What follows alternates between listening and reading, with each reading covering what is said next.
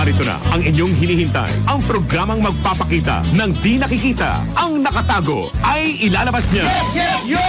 Topa Show! Programang maraming ilalantad na mga sorpresa. Yes, yo! Topa Show! At ngayon, narito na po sila ang mga kwento niyang ating mapapakinggan. Si Mr. Yes Yes Yo, Attorney Ferdy Tapasio, kasama si Binibining Tala Zaldivar. Yes, yo! Topa Show! Ikalawang bahagi po ng ating uh, serbisyo na po sa 882 hanggang mamaya ho tayong 12 noon at 12 noon ang ating po naman ay sa Balita Nationwide pangtanghaling edisyon. Huwag na ho tayo magpatumpik-tumpik ang isa ho sa mga nauna at dasin. Ha? Isa ho sa mga agad-agad na rumisponde. Undersecretary Hans Leo Kakdak Welfare and Foreign Employment Department of Migrant Workers.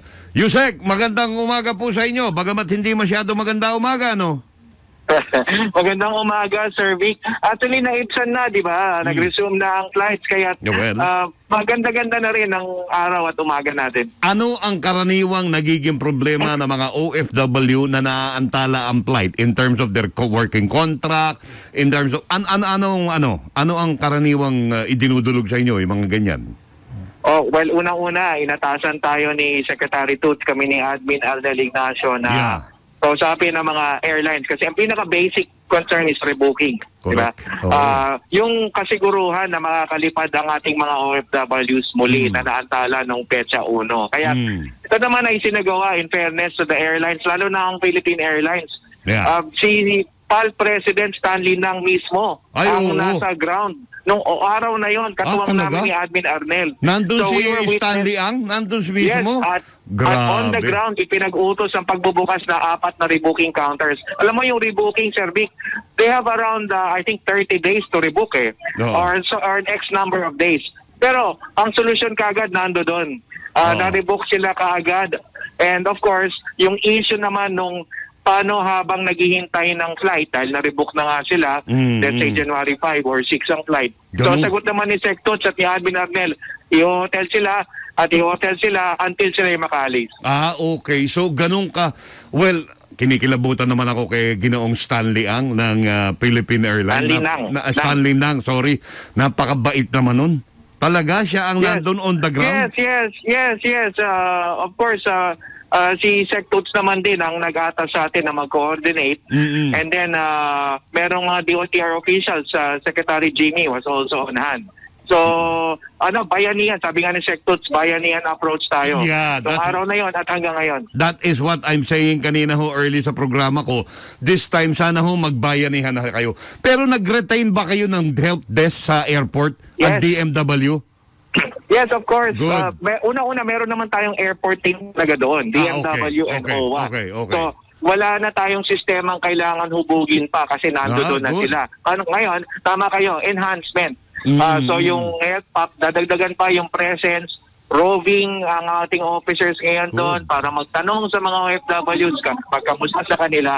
And then of course, yung mga food packs nakahanda in case merong kailangan ng mga pantawid gutom sa paghihintay nila. Oo, okay. That is good. That kanina, Yusek, sana magkaroon na ng one-stop shop eh. Nandun ang desk ng DOLE, DMW, Department of Tourism and everything. Para sabi ko nga, yung bang kalooban ng, ng ating mga pasahero, lalo na mga OFW, medyo maibsa ng konti, hindi ba? Kasi mabigat to eh, Yes, mabigat. eh, ah, ah, Sir Vic, actually, in fairness, na, nandyan na yan. Ah, Mm. kailangan lang talagang i-enhance yung one-stop shop. Ah. Right. Diba, sa NAIA arrival, NAIA 1, magkakasama kami lahat doon sa arrivals area paglabas ng carousel. Oo. However, yun nga, enhancement ang usapin at sabi ni Sec Tuts, go Oo. around, do roving work, Right, set right. up additional stations if you have to, especially mga food stations. Ra- Yun, yun, importante. Biyasang-biyasa talaga Secretary Tuts. Alam na alam niya gagawin. Yusek, yung in terms of contract, naku, hindi ako nakaalis noong linggo, paano yung kontrata ko? Ano Okay. hakbang ang ginagawa ninyo? Yusek? Okay, pinag-utos din ni Secretary Tut sa kanyang mga labor attaches Yeah. at pinamanmanan natin yung direktibang ito ngayon na yung mga OFWs na kailangang kausapin ng employer, Mm. lalo na yung mga sabihin nating employer na may pagdududa, Correct. bakit na delay, totoo Correct. ba yan, Oy, na may sus. nangyari. So, yung mga labor attaches natin Ah. ay inatasan ngayon para kausapin. Mm. One is to one, personal.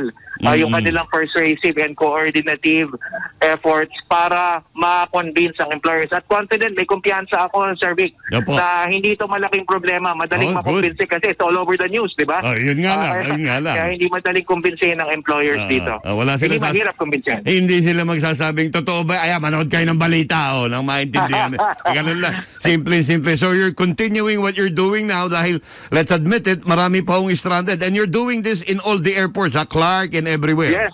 Okay. In, ah, national yan, national. Ah. Yung, yung mga lahat ng mga kwento ko, hindi lang naiyang konteksto niyan. Mm-mm. Nationwide, DMW OWA teams at the airport to monitor and assist. All right. Naku, Yusek as always. Maraming maraming salamat sa inyo, Secretary. To. Tsaka si Arnelli, nakita ko kayo sa TV. Nandun, natulog ba kayo? Hindi yata kayo natulog nung araw na yun. Nanlibre ng pang-almusal. Ah, okay, very good. Maraming salamat ho. Maraming salamat, Oh, Yusek. okay. Thank you. Thank you for the Salamat, good Sir news. Vic. Happy New Year po sa inyo. Happy New Year. Happy New Year. Uh, Hans Leo Kakdak. Eh, ang kagandahan doon eh. Yung Arnel Ignacio, talagang pagdating sa tulungan sa mga kababayan natin, kilala naman natin. And yung Toots Ople, no doubt about it. Secretary Toots Ople and Hans Kakdak. Kilala naman ho natin yan. Kita niyo yung mga gano'n, no? Yung mga pakiramdam ng ating mga kababayan, nakikita yung mga kinaukulan, nakikita yung mga otoridad, nakikita ang, op, andito kami, tutulong kami. Malaki yung tulong, malaki yung ano yun, ginhawa sa pakiramdam ng ating mga OFW. Alam niyo ho kung paano ho ang pakiramdam ng ma-stranded sa airport? Yung iba ho, talagang halos masisi... Hindi mo alam ang gagawin mo eh. Hindi mo na alam ang gagawin mo. Galit ka na sa mundo pag naggaganon. Galit ka na sa mundo pag na-stranded ka. Lalo-lalo na, yung mga galing ng bakasyon nung holiday season. Pagdating sa airport, walang flight. Rebook for Thursday, rebook for Wednesday. Saan ka galing?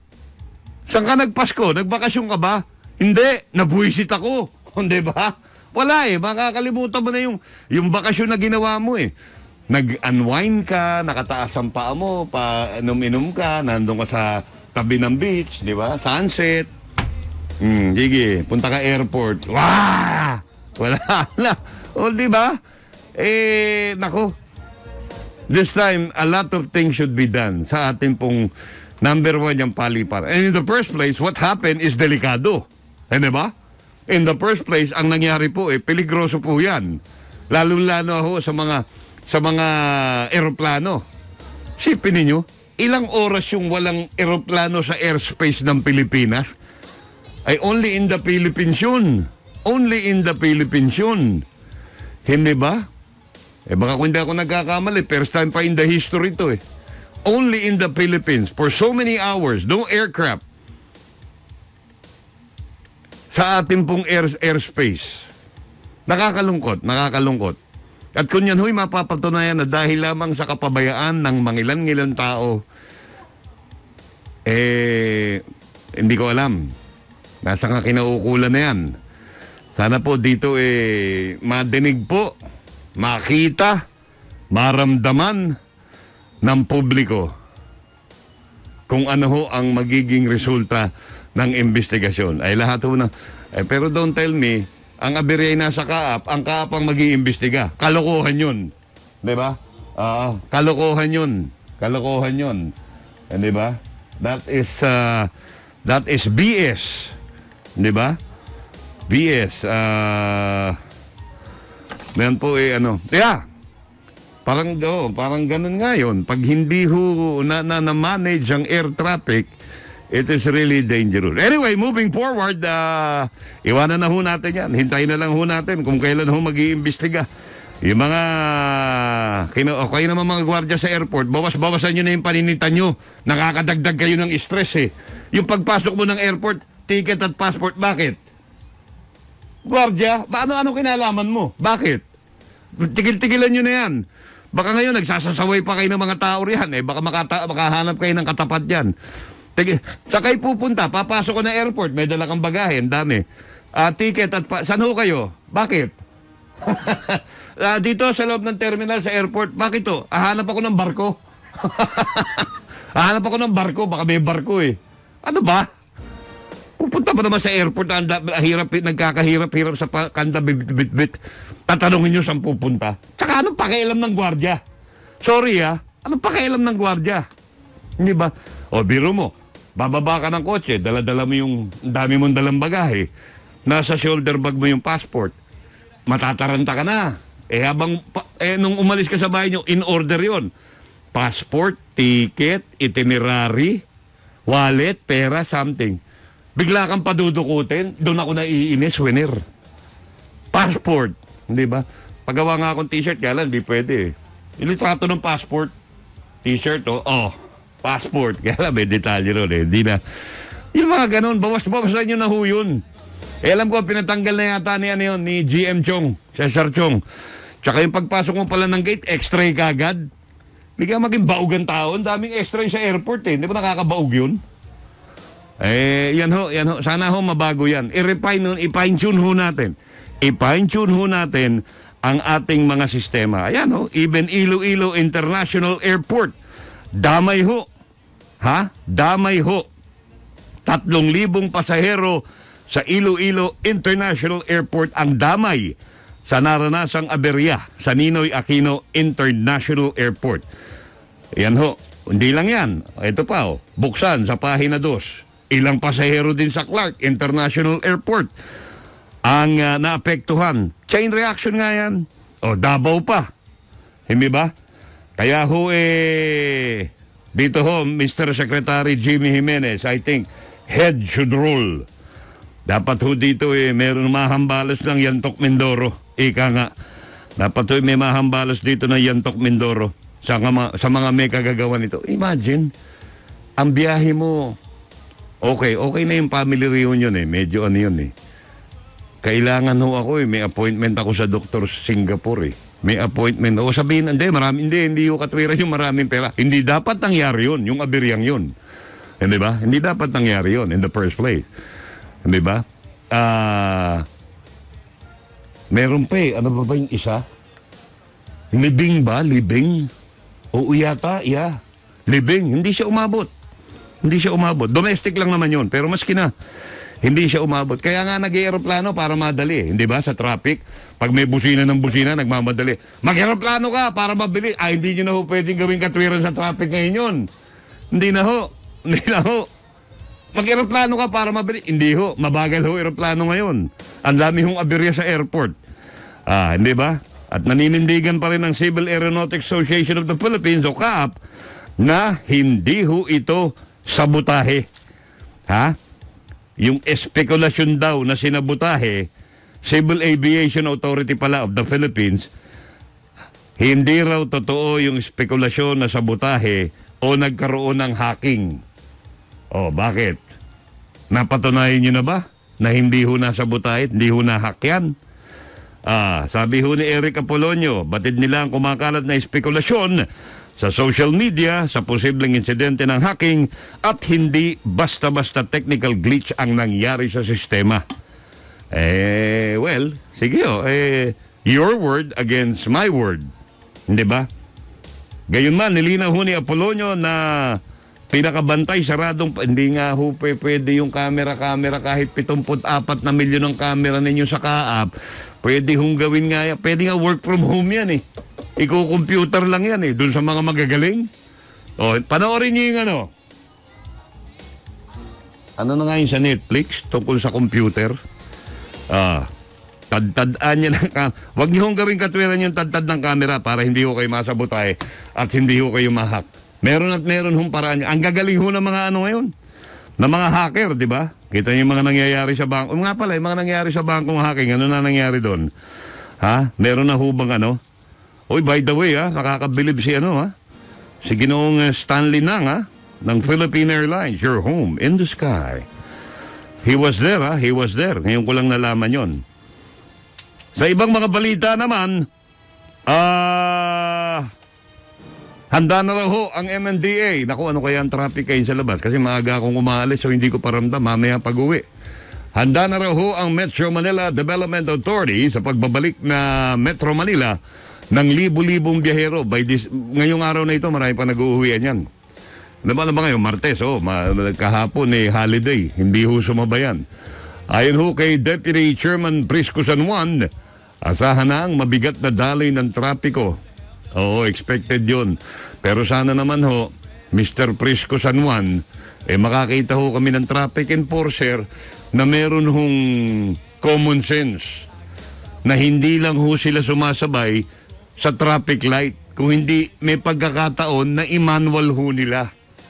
Hindi ba? May i-manual ho nila. Kasi kung 78,000 yung traffic enforcer sa kanto, sa intersection, at ang pinagbabasihan lang ho nila sa traffic, ma- ma- tra- management of traffic, eh yung signal, wala ho silang silveron. Pag nakita nyo ng punuro yung kabila, kahit naka-red, paguhin nyo na. Para mabatak, mabawa. Simple ho, tama ho ba yung sinasabi ko? Para balanse ho. Eh, hindi ko nga alam dito kung synchronize yung stoplight dito eh, sa, show, sa ano eh. Dito sa Pasig, hindi ko napapa... Pa, para, yan ho San Miguel, ang tagal-tagal ho ng stoplight dyan. Dyan ho natitenga yung mga sakyan.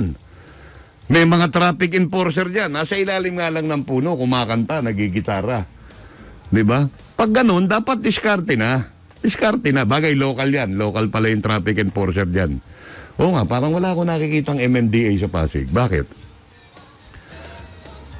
Umabot na anya sa 42,000 sasakyan ang dumaraan sa kahabaan ng EDSA. 42,000 lang? Parang konti ito. Tiniyak naman, isa naman, nakikipagnayan na sila sa Department of Transportation upang masiguro may sapat na mga sakyan para sa mga nag-uuwi ang pasahero. Ang kagandahan pa rin hong balita, normal na ho ang operasyon ng MRT o yung pong MRT-3 simula ngayong araw na ito.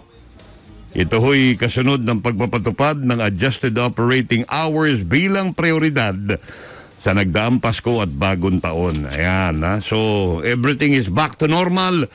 Everything is back to reality. Trabaho na ho. At tayo ho'y papasok na rin ho sa eskwela.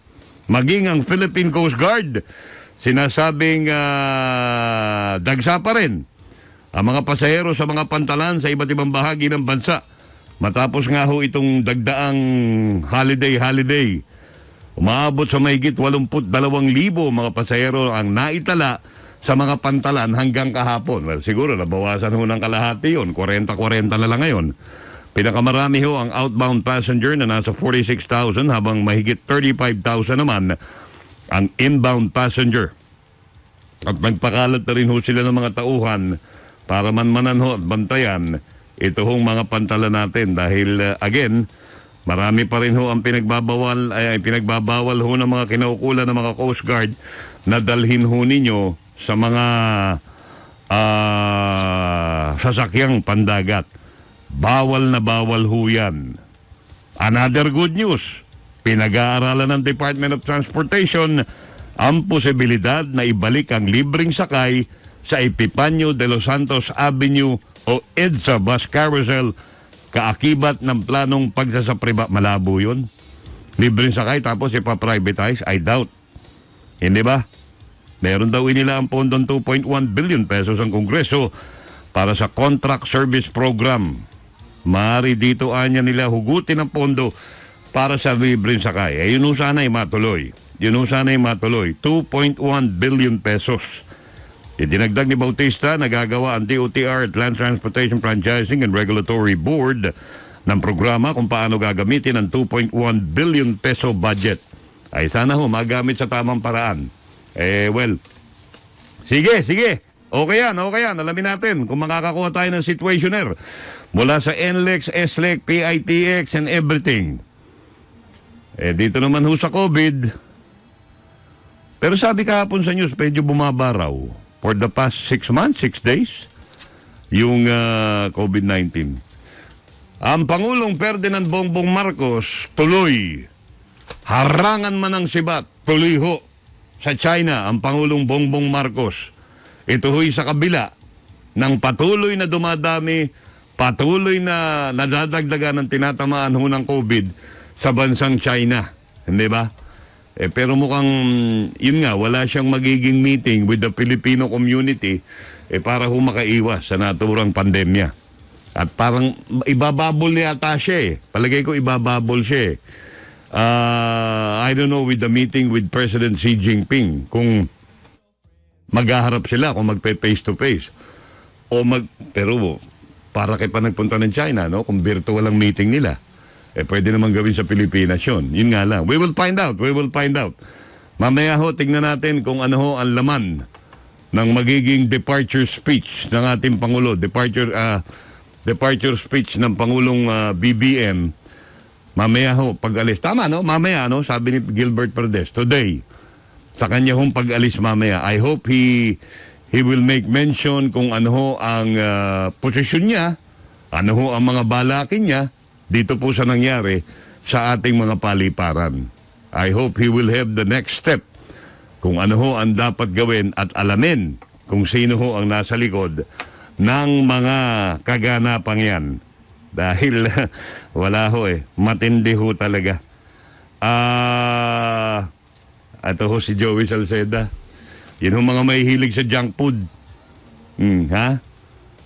Sisimula na ngayong taon ang deliberasyon hinggil sa pagpapataw ng tax sa mga junk food sa bansa. Really?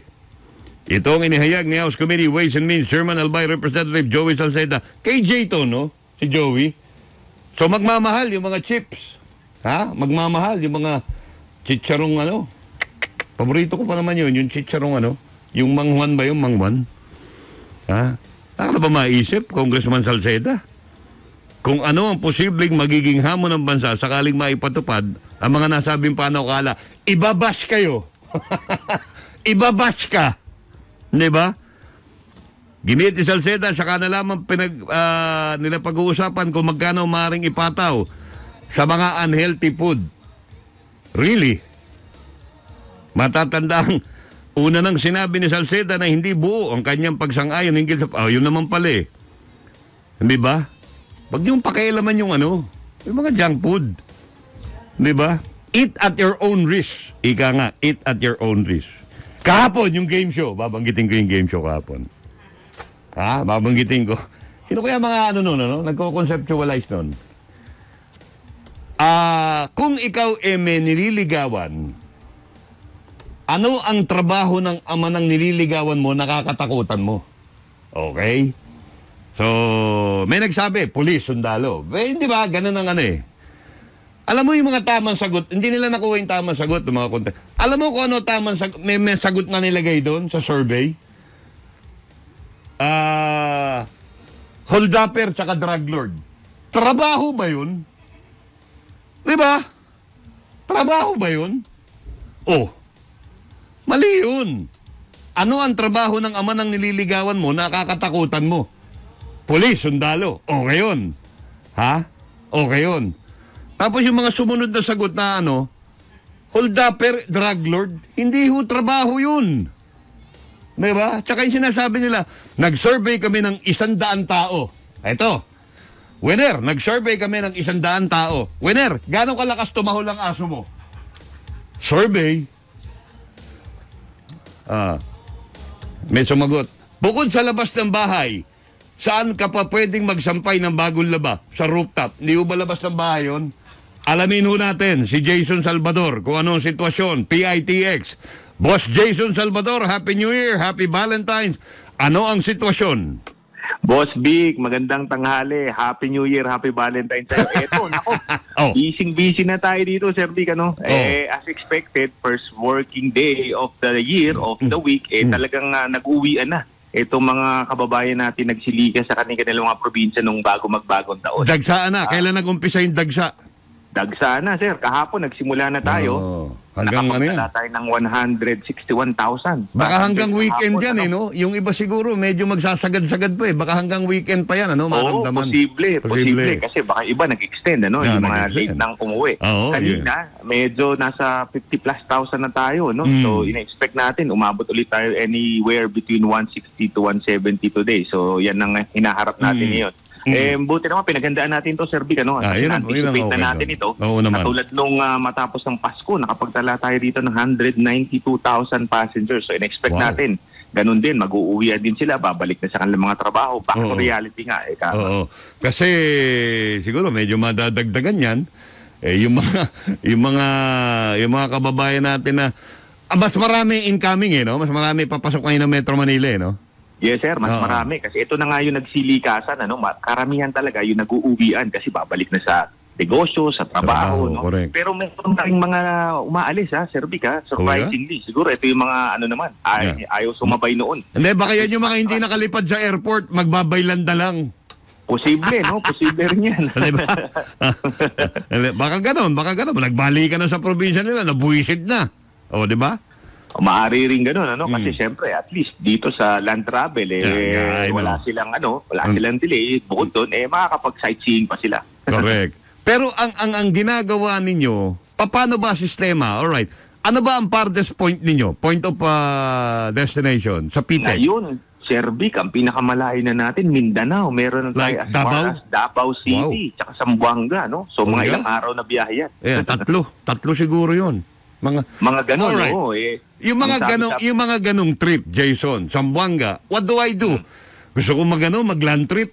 Halika, mag-bus Mm-hmm. tayo, punta tayong Sambuanga. What do I do? Tatawag ako sa PITX? Oo, Reserve? maganda niyan. Mag-reserve ka na, no? Ah. Para siguraduhin may upuan ka. Pwede ka rin naman mag-walk-in dito, pero mas maganda kung Ah, mag-advance booking ka na. Advance Oo, booking ka. Medyo mahaba-habang biyahe kasi yan. Ano ang mga bus na ginagamit sa long distance trip? Yan ba yung mga nahihiga? Yan ba yung may mga kwarto, may mga banyo? Well, may mga banyo na, no? May Medyo komportable na. na. to kasi nga ilang araw kang babiyahe, di ba? Oo. So kailangan Ang medyo sakit sa puwit nun. komportable na to. Ang Oo, sakit-sakit nun. mahaba-haba 'yon. Although may mga breaks naman ito, Ay, of no? lalo course, na of pag course. ah, sasakay ka sa mga pantalan kasi ilang ilang lipat ito, Sir Vic, ano? Ah, syempre magro-roro ka diyan. Oo. Eh ang maganda Pero dito, hindi ka magpapalit ng bus. All Hindi, the way. oo, Isa lang. lang. Good, Oo, good. dire-diretso lang yun. Oo. Eh, kaya nga nila, iba nang sasabi, pag may nililigawan ka, isakay mo rito, malamang, pagdating mo Malamang. sa dulo, Oo. eh, girlfriend mo na, di ba? Oo. At kung may isasakay ka dyan, asawa mo, malamang pagbaba mo, mag-aaway na kayo. Malamang, nagkasawaan na kayo nun. Nagkasawaan na kayo. no? Pero ang mga bus naman ninyo, komportable kahit nare-recline lang. Kasi alam mo, may mga bus na, curious lang ako ha, may Mm, mga bus na ang lalapit ng distansya ng upuan. Eh lalo na tayo pare, matatangkad tayo, hindi ba? Correct. Oo. Oo, hindi. Yung mga ganitong pang long haul na tinatawag Yeah, long haul. Ito na yung ah, mga komportable na. Mga bago na rin. ba yan? Mga bago na Mga bus? bago, Oh, oo. okay, Siyempre, okay. kailangan bago na to, no? Bukod sa kailangan bago yung amenities, pati yung sasakit ni itself. Kasi hindi naman pwedeng luma dahil sa napakalayong biyahe. Ay, wala. Bibigay yan. Breakdown to in between, ano? Oo. Kasi maganda dyan, may free internet na, di ba? May All the CR way, may para- internet ha? Oo, para hindi na, hindi na mainip. May, yung may, ating may mga ano, may, pasahero. may, of course, yung aircon hindi nagpa-fluctuate ha, hindi nagbabag down, hindi na Hindi, in fact, importante. ano eh, ina-advise nga natin magdala ng kumot, Serbic, ano, Ah. saka jacket kasi napakalamig niyan. Okay. Eh, ilang oras ka nakakulong sa isang ah, bus, eh talaga namang kikinawin ka. Ang ah, ating mga health protocol. Ayan, oo. Eh well, ang patuloy nating paalala, Sir Vic, eh pag ikaw'y nasa pampubliko sa sakyan, kailangan maintain mo pa rin yung pagsusot ng face mask. Di ba? Yeah. Although optional na to sa ibang mga lugar, pag mga open Hindi. spaces. Pero sa pampubliko sa sakyan, lalo na Mm. air condition ba, Sir Vic, eh kulog na space yan. Oo, Imagine mo, 50 tao kayo dyan mag, ah, maghahalo Right, right, right. So maganda Oo. mag-face mask ka pa rin all the Oo time. naman, oo naman. Sige, eh, good luck sa inyo. Eh, alam kong kayang-kaya nyo yan. Eh. Yan naman eh, kailangan pa bang i-memorize ng PITX yan? yan dagsa ng tao, di ba? Alam nyo, alam nyo Oo, yan. eh. salamat, salamat Sir Vic. ah. Oo. Ah, salamat sa programa niyo at sa impila niyo Anytime. sa palaging pagbibigay daan sa ating mga anunsyo sa, Oo. para ma, eh, malaman ng mga pasahero natin kung ano po yung mga kailangan gawin Oo. at kung kailangan dalhin. Di Oo. ba? Ang client prepare. Salamat po sa inyo. Sana maging magandang ah, bagong taon para sa That's ating correct. lahat. Salamat. Jason. Kahit di na tayo nagkikita, namimiss ko na yung omelette, ha? Oo, minsan. Minsan mag-omelette ah. tayo. Oo. Okay. Yes, sir. Yes, Thank sir. you, thank you, thank you. Thank you, thank you. po. Ingat po. Alright, si Jason Salvador ho yan, hindi ho ka mag-anak ni Philip Salvador yan. Ha? Mas magandang lalaki ho kay Philip Salvador yan, si Jason. Jason Salvador, it's 10.30 in the morning. Babalik pong Yes Yes Show, Topacio with Vic. Servisyong lubos sa 8, 8 Buena mano, buena mano na namang pananam at pananamantala. Buena manong big time oil price hike. Ang sumalubong at sasalubungin pa tayo ng kung ilang Martes dito ho sa ating oil price hike. Para ho sa mga motorista, bakit kanyo? Uwian ho ngayon. Ang dami ho mga nagmamaneho ngayon. Ang dami ho mga papasok na sa mga ah, opisina nila, sa mga trabaho nila. Ang dami na hong papasok sa mga eskwela. Kailangan nilang magtaas. Ha? Yan ho ang ah, rollback rollback kayo riyan ng ilang mga linggo. Sabi ko sa inyo may cambio yan eh. Ha? Wag ho kayo mag Buena manong panlo- panloloko. Big time oil price hike ang sumalubong sa mga motorista ngayong unang Martes ng bagong taon. Yan ho ang regalo ng mga oil company sa atin. Magdusa kayo.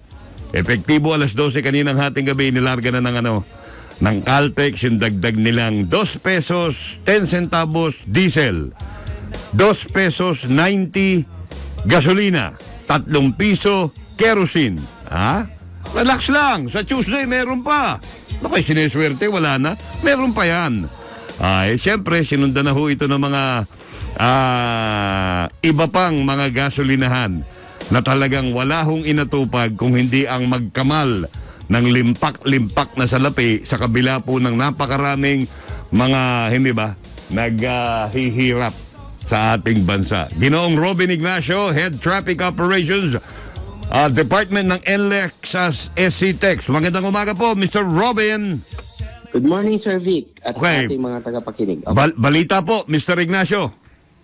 Opo, sa ngayon, ah, meron na lang po tayong konting ah, pagbagal dito sa may Marilao area hanggang Marilao. Kawayan area. Mm-mm. Opo, ang ating pagdagsa talaga ng mga bumalik na mga ah, motorista ay mula pa po kahapon, Kahapon. ng alas dos Mm. na monitor po namin unti-unti na pong tumaas yung volume natin. Mm-mm. Ah, nagpa-counterflow na rin po kami dito sa may Candaba Viaduct hanggang sa dumating po ng mga madaling araw na po meron pa rin po tayong ah, volume. Kanina then, madaling mga- araw.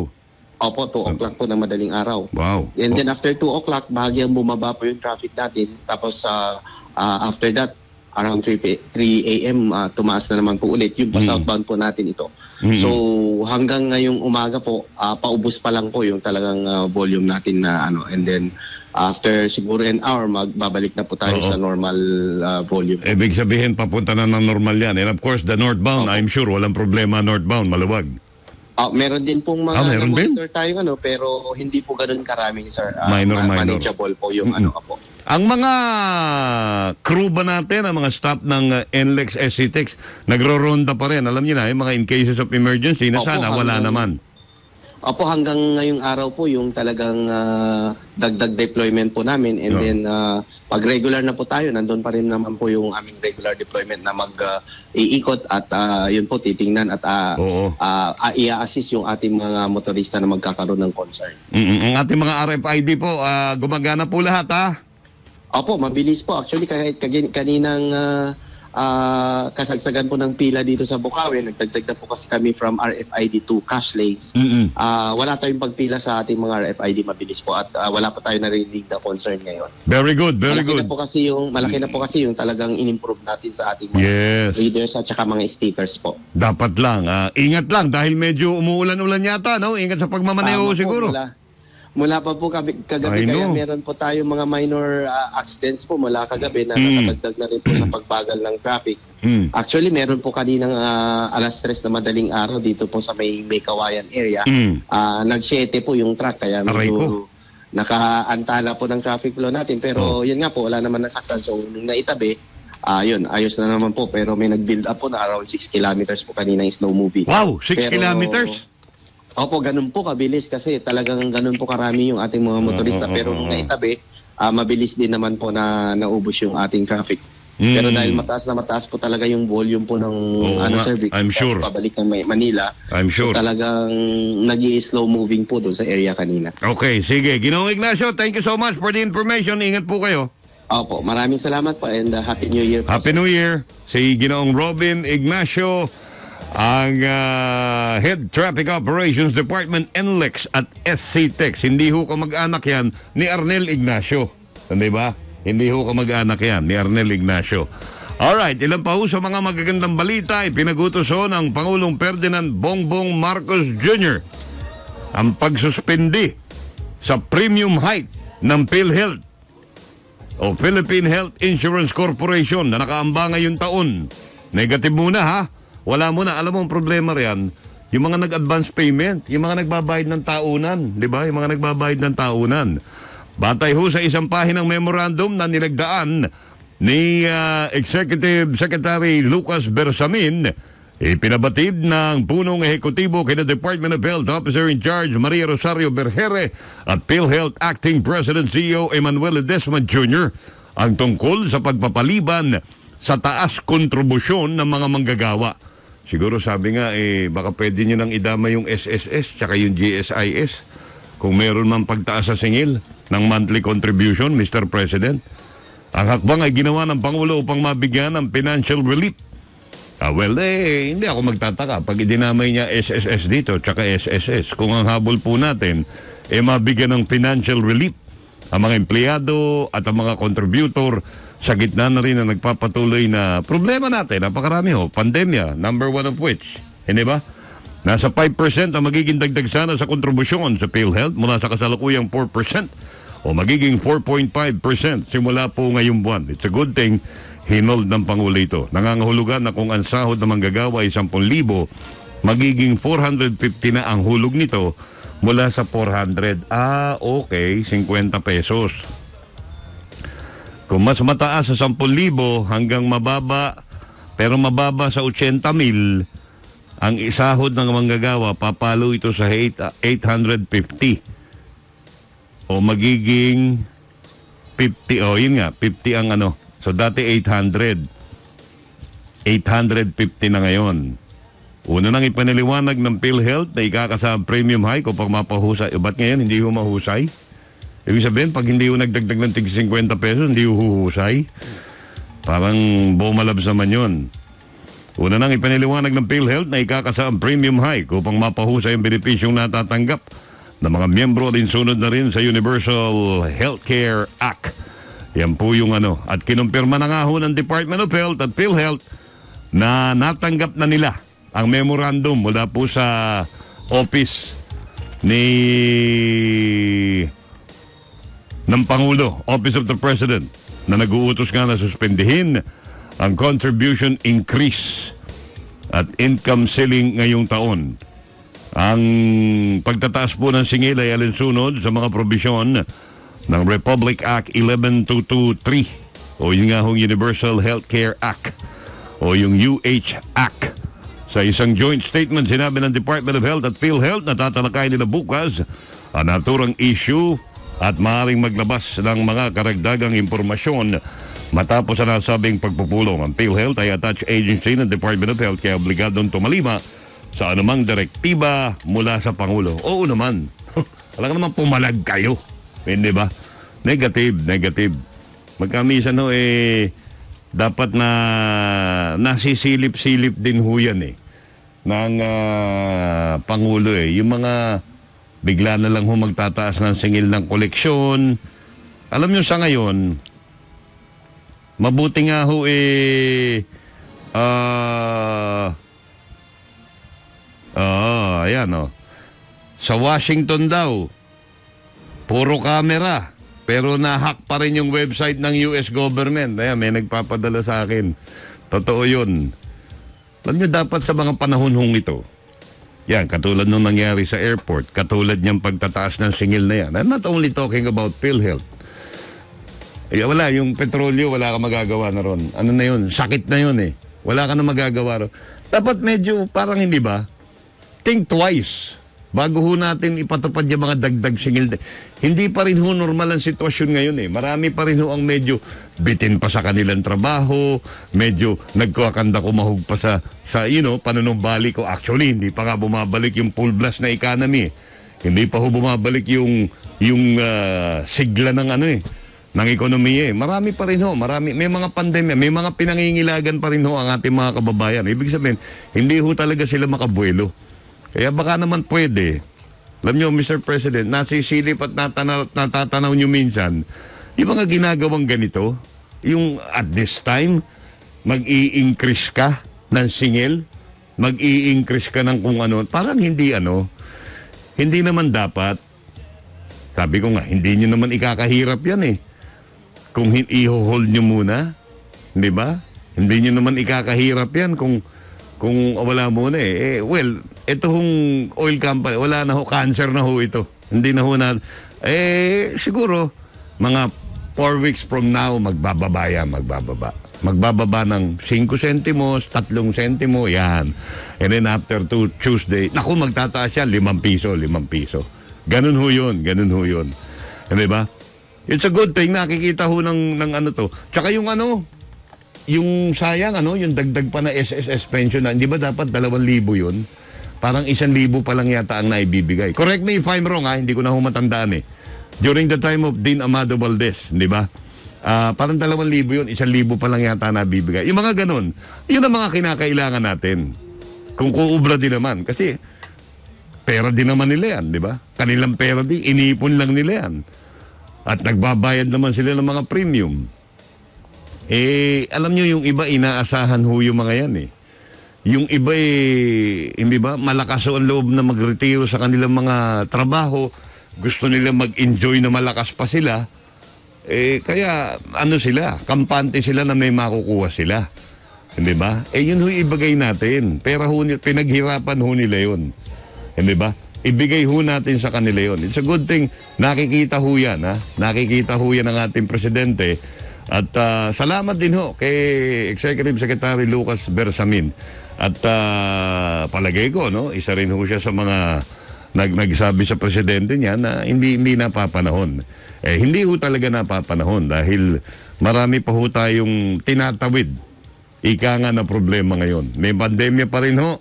Marami pa rin ho ang walang trabaho. Eh bukod na lang alam ho doon. Pero na lang doon sa mga ah, hindi ho walang trabaho. Yung ayaw magtrabaho, iba ho yun eh. Yun hong walang trabaho at ayaw magtrabaho, magkaiba ho yun. Hindi ba?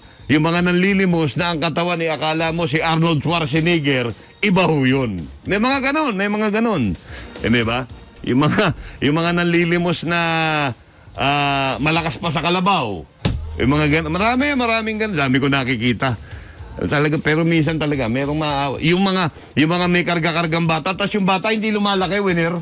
Tsaka laging tulog. Laging tulog. Tapos yung suot nila, pare-pareho. Long sleeves na t-shirt, pajamang maruming-marumi, lahat sila nakaapak. At yung bata, maliit pa ako nakikita ko nun, hindi lumalaki yung bata. Ganun pa rin kaliit. Di ba? Isa nga gusto kong pindutin kung totoong bata yun eh. O, yun ang mga trabahong ayaw magtrabaho. Yun ho yung hindi, yun ho yung, wag niyo sabihin walang trabaho. Ayaw magtrabaho. Gusto nila eh ganansya lang. Gusto nila puro incoming, hindi sila mapapagod. Yun lang ho ang kanilang gusto. Pero yung magtatrabaho, ah, manigas kayo, hindi ako magtatrabaho. Ah, Kalabit pengi. Kalabit pengi. Tsaka yung ano, yung mga naglilinis bigla ng windshield mo, ah, hindi pwede yun. Hindi pwede yun. Wala eh. Pero minsan, yung ibang mga motorista, nagdadalawang isip din, natatakot eh. Eh dahil pag nakita mo yung mga naglilinis, mukhang kargado ng NG eh. Mukhang nakaganon eh. Di ba? Eh, yun ho, eh, wala. Hindi na rin ho sinisita ng mga otoridad dahil mapapagod lang sila eh. Babalik at babalik. Ang dami ho. Lalo na ho dyan sa Spanya, tsaka Forbes. Ang dami. Ang dami. Tapos, ang lalakas ng katawan. Oo. Di ba? Nakakalungkot dahil yung iba nakikita mo, nagtatrabaho. May nakikita kang matanda na naglalako ng mga paninda. Nagtatrabaho. Ayaw sabihing matanda sila. Gusto kong magtrabaho. Meron ho kasi mga matatanda na pag itinigil mo sa bahay, lalo hong magkakasakit. Yun ho ang problema. Tapos meron naman ho tayo mga kababayan na wala, mahirap ho ano eh. Kaya kung magkamisan eh, pasensya na po, pinipili ko rin yung binibigyan ko ng limos winner. Ako po hindi taong madamot. Pero yung pag alam mong ino-onsi ka, ah hindi, pasensyahan tayo. Laki ng katawan, no? Naglilimos. so sabi, Alika, alam mo hindi ako mananalo sa suntukan. Ang laki ng katawan mo eh. Ang lakas mo. Nagkakalabit pengi sa mga kotse. Eh, wala. Eh, ang DSWD, ewan ko kung itutuloy pa nila yung mga pagre-rescue sa mga yan. Dahil during the time of Erwin Tulpo, nung bago magpasko, nirescue nila yung mga badyaw ba yun? Yung mga ano, yung mga yung mga native na bumaba po ng ating ah, kabihasnan, ibinalik po nila yan, binigyan po nila ng pangkabuhayan yan, hinatid po nila sa mga lalawigan yan. Eh pero ito mga to, hindi, wala ho kayong paghahatiran, mga tigaron lang ho ito eh. Yung paikot-ikot doon. At saka ito pa, yung mga batang mataas pa yung gulong na sasakyan kesa sa kanila. Ang daming ganun. Matangkad pa si Pacheco eh. Yun ho, nakakatakot. Bakit to? Kung ang sasakyan ninyo, mataas, pick up, nakamalaking gulong kayo, hindi nyo ho makikita yun. Naku po, wag naman ho sanang ipahintulot. Pero pit-pit ho yun. Talagang ano, talagang maliit. Dalawa, tat, dalawang taon. Patakbo-takbo, biglang, ah.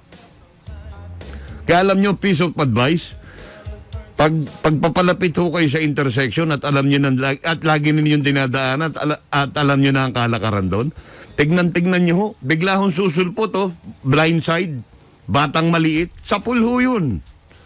Sa pulho yun. Wala ho, kasalanan ho ng driver yun. Wala kang kapanapanalo ron. Oh, kasalanan po ng driver yun. Eh, nananawagan ho tayo. Alam nyo, DSWD, maraming pa rin ho naglipa ng mga nanlilimos. Parang marami ho ngayon. Parang hindi ho, well, nabawasan pero visible pa rin ho sila eh. Ang dami pa rin ho. Ang bibigyan nyo lang ho, yung talagang legit. The other day, may binigyan kami ni Jenny. Putol ang dalawang kamay. Putol ang dalawang kamay. Sabi ko, bigyan mo yan. Putol ang dalawang kamay. Pero yun ho manlilimos na ah, malakas pa kay Arnold Schwarzenegger. Eh, hindi ho, hindi ho karapat dapat yon. Sana ho mabigyan pansin din ho yan, ano. You know why? Kasi hindi lang ho sa parang ang piling ng ibang mga motorista ay nadalin lang sila. Yun hong delikado sa lansangan. Yun hong, yun hong ano, yun hong peligro para sa mga motorista. Kasi wala ho choice eh. Kasalanan ho ng motorista yan. Yung ba naman batang mas malaki pa yung gulong ng sasakyan mo eh. Makikita mo sa lansangan, patakbo-takbo. Mapaumaga, mapatanghali, mapagabi. Lalo na sa gabi. Talaga hindi mo makikita, andudungis pa. Tapos ang mga suot ay mga itim, mga dark-dark. Ay wala, hindi mo makikita. Hindi ko alam. Wag naman sana, nagkakamali sana ako. Natatandaan nyo ba yung mga modus operandi ng iba? Dito sa Quezon Avenue? Yung papaluin yung point ng kotse mo, pak, tas magtutumba-tumbahan, kunyari nasabitan mo. Ah, ganun ang modus operandi ro. Diyan ho, sa may Quezon Avenue, marami ho niyan. Kung kayo papunta ng Quezon City, pagkalampas nyo ng Welcome Rotonda, mag-ingat ho kayo riyan. Yung U-turn slot doon, yung may katapat na tindahan ng lechon, ang dami doon mga kariton. Bahay na yung ginagawang kariton. Nandun ho sa loob yung mga taong yun. Biglang tatawid ho yun. Mag-ingat ho kayo ron. Papaluin yung kotse mo, kala mo, tinamaan mo. Ah, peperahan ka. Dalhin mo sa ospital, hindi magpapadala, hindi papayag. Oo, hindi papayag. Gusto nila pera, instant money. Ano kayo, lucky? Instant money? Ano kayo, lucky? Ah, kaya alam nyo na ho yun, mag-ingat na ho kayo doon. Sa lugar na yon, lalo na. Pero hindi, walang pinipili, mga paumaga, mga paggabi. May mga ganun. Walang ano yun. Walang katakot-takot yun. Kahit mabagal ka, pak, tatapikin yung kotse mo. Loko-loko pala kayo eh. Pag sa likod kita tinaman, hindi ko nakasalanan yun. Kasalanan mo yun. Ba? Oh. Wala ho eh. Eh, again, pagod na rin ho yung mga, yung mga pulis, hindi na ho sinisita yun. Nandun lang ho yun. Yung, yung doon na sa bangketa nagsasaing. Hindi nga ho sa bangketa, sa island eh. Nandun yung sampay, nandun yung mga kaldero nila, doon na sila kumakain. Ah, paano ka maaawa sa mga yon? Karamihan sa kanila ano hawak? Supot na plastic. Anong ginagawa? Ngutsing. Oh, ganun. Paano ko maaawa sa mga yon? Di ba? Ah, pag walang-wala ng pera, hahanap na ng modus operandi. Dadalihin ka na ng kunyari, nabundol mo sila. Ay nako, ako nga ho'y tigil-tigilan ninyo. Marami hong ganyan. Mag-ingat ho kayo sa pagmamaneho. Marami pa hong mga nanlilimos sa lansangan. Sinasabi ko sa inyo, yung mga batang maliliit, yung mga malalaki ang katawan, malalakas ang katawan, eh sorry po, sorry. Tayo po gusto nating makatulong pero pag lokohan ay negative na. O sige, magbabalita tayo. Buwe-buwelo muna ako, winner. Galit ka yata sa akin eh. Babalik ko kami sa ating Nationwide Balita, IC Balita, tanghaling edisyon. Si Mr. Yes Yes Yo, Attorney Ferdy Tapasio, kasama si Binibining Tala Sound Devour. Yes, yo! Topacio!